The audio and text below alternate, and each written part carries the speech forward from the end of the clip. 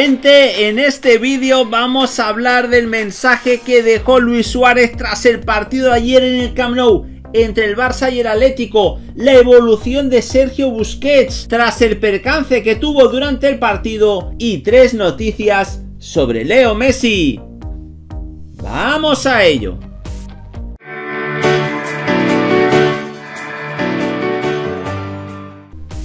Hola de nuevo gente, ¿cómo estáis? Bienvenidos de nuevo a otro vídeo para el canal. Vamos a analizar la última hora del Fútbol Club Barcelona y vamos con varias noticias. Por tanto, te animamos a que te quedes hasta el final del vídeo, a que nos dejes un buen like y a que le deis a la campanita de notificaciones. Vamos ya chicos con la primera de las tres noticias sobre Leo Messi y es que el Barcelona ya prepara la temporada que viene contando con el argentino. Con el pasar de las semanas se ha despejado más la incógnita del futuro de Lionel Messi, que termina su contrato con el Barça durante este verano y no ha renovado el acuerdo, a la espera de que termine la presente temporada. En el club, sin embargo, están muy tranquilos y están seguros de que el argentino seguirá vistiendo la elástica azulgrana por un par de años más. Por ello en Can Barça han comenzado a preparar el próximo curso en el que se espera que puedan dar el salto extra que en esta campaña no han podido dar. John Laporte y Mateo Alemán quieren la mejor versión del conjunto azulgrana y para conseguirla, Leo Messi tiene que estar, razón por la que le han incluido entre sus planes y proyectos para potenciar el equipo. La realidad es que el caso Messi condiciona todo el resto de los planes del Barça. El argentino es la principal figura del equipo y de la historia del club, y su presencia le da a los culés un plus que nadie más puede dar en muchos sentidos. Además de todo lo que aporta en el campo, que ya es bastante, Messi es una de las mayores fuentes de ingresos para los Blaugrana porque es el perfecto imán para los patrocinios y el jugador que más camisetas vende. En las oficinas del Camp Nou son conscientes de que ha sido el Rosarino y su talento lo que ha impulsado al Barça a ser una marca global y es una de las razones por la que lucharán contra viento y marea para conseguir retenerle, un escenario que es más posible que nunca. ESPN había informado hace unos días que lo único que faltaba para la renovación era la firma del jugador, así estaría quedándose dos años más. Sin embargo, desde la cadena televisiva habían asegurado que John Laporta le prometió el fichaje de Neymar a Leo y ya ha renovado con el PSG, por lo que quedan lagunas en la información. A pesar de ello, la renovación continúa siendo una posibilidad real y habrá que esperar a junio para que sea anunciada. En tal caso, cabe recordar que en diciembre, en una entrevista con Jordi Évole, Messi confirmó que sería al final de temporada cuando se pronunciaría con respecto a su futuro y de momento todo indica a que permanecerá en el equipo que le ha visto crecer y en el que se ha convertido en el mejor jugador del mundo. No es un secreto que la extensión del acuerdo de la pulga supone un gran desembolso para el Barça, a pesar de que accedería a una significativa reducción de su salario anual. El monto seguirá siendo muy elevado y conociendo la situación económica actual del club, difícil de asumir, no obstante, la renovación tendrá un efecto dominó y en los despachos esperan tener más patrocinios gracias a la continuidad de Leo. A su vez, afectará el tema de fichajes y las posibles llegadas al Camp Nou. En verano, los directivos son conscientes que el capitán atrae a los jugadores y que a muchos les gustaría jugar a su lado, por lo que existen posibilidades de que accedan a reducciones de su ficha para poder jugar en el Barcelona y desarrollarse como futbolistas en el caso de los más jóvenes. Por tanto, chicos, buena noticia, aunque no está renovado, la puerta lo tiene que ver bastante claro para tenerlo en cuenta para la próxima temporada. Vamos con la segunda noticia de Leo Messi. En este caso es una mala noticia, y es que la clasificación de la bota de oro 2021 mantiene un claro dominador. El delantero del Bayern de Múnich, Robert Lewandowski, marcó un hat-trick en el partido de los bávaros ante el Borussia Mönchengladbach y amplía su cifra a 39 goles en la Bundesliga, que se traducen en un total de 78 puntos que le sitúan en lo más alto del ranking europeo. Leo Messi, que no pudo ver puerta en el choque del Barça ante el Atlético de Madrid, decisivo para el título de liga, ve como el polaco se le escapa en la lucha por la bota de oro a 11 tantos Cristiano Ronaldo le sigue de cerca con uno menos 27 y de momento deja a los jóvenes un peldaño por debajo.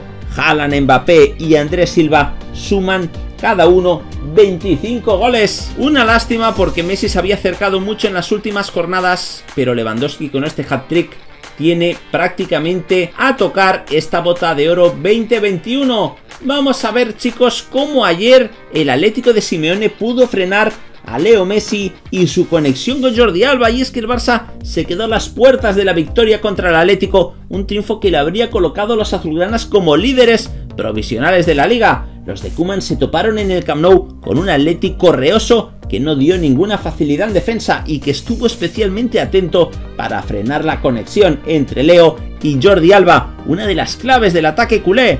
Una clara muestra de ello es que Messi apenas pudo conectar con Alba en 5 pases en todo el partido, mientras que el lateral solo fue capaz de pasarle el balón al 10 en 8 ocasiones. Además Messi con 18 y Jordi Alba 19 fueron los dos jugadores con más pérdidas en el Barça fruto del buen marcaje de los colchoneros.